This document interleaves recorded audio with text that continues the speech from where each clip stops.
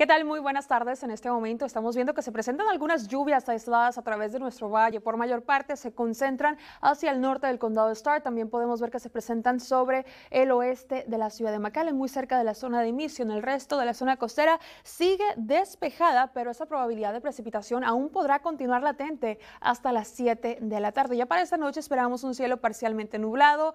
Miren los acumulados que se han presentado durante las últimas horas. Menos de una pulgada de precipitación. Mayor parte de esta lluvia se concentró hacia el suroeste del condado Hidalgo, también para porciones del condado Star. Ellos recibieron un poco de lluvia. Sorprendentemente, la zona costera recibió un poco menos que el resto del oeste de nuestro valle. Hablemos sobre esas temperaturas actuales, llegando a los 88 grados en la ciudad de La Gloria, Álamo en los 87 grados a través de lo que es ese sector. Nosotros anticipamos que esas temperaturas para lo que es el día de mañana estén llegando a los 95 grados en la ciudad de McAllen, 94 grados en la ciudad de Raymondville y 86 para la Isla del Padre. Por supuesto, esas condiciones calurosas aún continuarán para mañana, pasado mañana y el resto de la semana.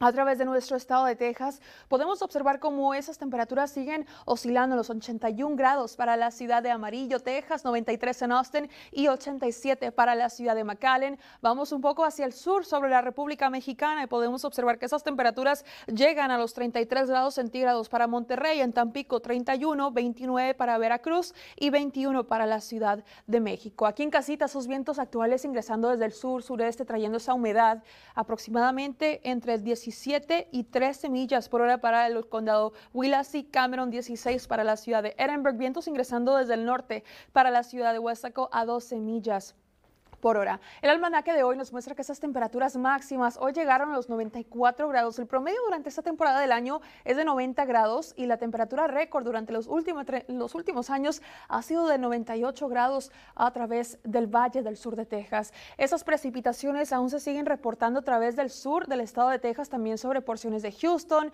eh, porciones también del norte de la República Mexicana, tal como nuestros vecinos en la zona de Tamaulipas, ellos también recibiendo un poco de actividad de precipitación. Podemos observar que también esta tormenta tropical Narda sigue afectando porciones de lo que es uh, Culiacán, dejando esas bandas de lluvia afectando ese sector. Aquí en casita estaremos esperando que esas probabilidades de lluvia, de hecho, estén un poco activas para el jueves y el viernes. Estaremos esperando aproximadamente un 30% para el jueves, el viernes un 20%. Para el miércoles, condiciones mayormente secas, pero podríamos ver un poco de actividad en la zona costera el sábado y el domingo. Hasta este momento los modelos indican que se presentarán condiciones secas, pero ya para el lunes de nuevo estaremos esperando que esas posibilidades estén aumentando para nuestro sector. En el trópico vemos mucha actividad, pero le estaré platicando un poco más de eso a continuación. Vamos antes a ver esas temperaturas en el pronóstico Celsius. Vemos que esas condiciones llegan a los 30 para el resto de la semana. Aquí en el Valle del Sur de Texas estaremos esperando que estaremos en el rango de los 90 con esas posibilidades de lluvia